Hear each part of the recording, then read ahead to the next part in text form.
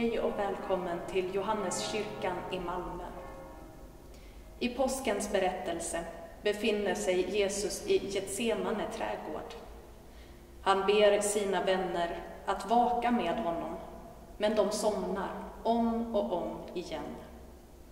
Ensam i sin oro och rädsla ber han Gud att få slippa det som väntar. Jesus vet vad total ensamhet är.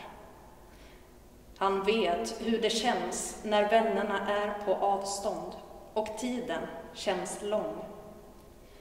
Jesus vet hur oro och rädsla kan fylla själen med smärta.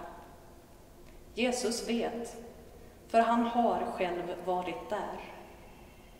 På så sätt är han också nära oss i de känslor som fyller oss, känner med och håller vår hand. Gud, du som känner varje människa och vill att vi ska leva.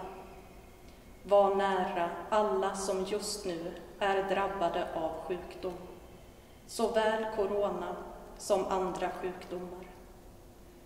Var nära alla som befinner sig i osäkra situationer, människor på flykt och människor som förlorat arbete och sysselsättning. Låt oss finna vägar nu när det som varit vanligt ställts på ända. Vi ber för de människor vi har nära våra hjärtan.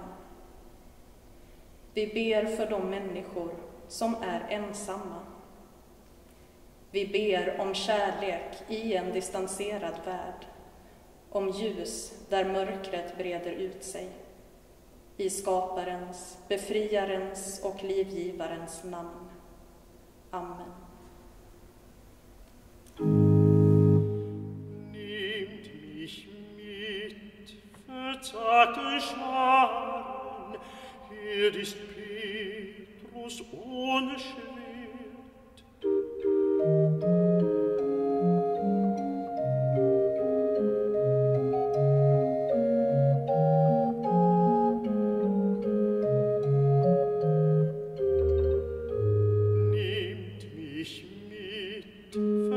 Verzagte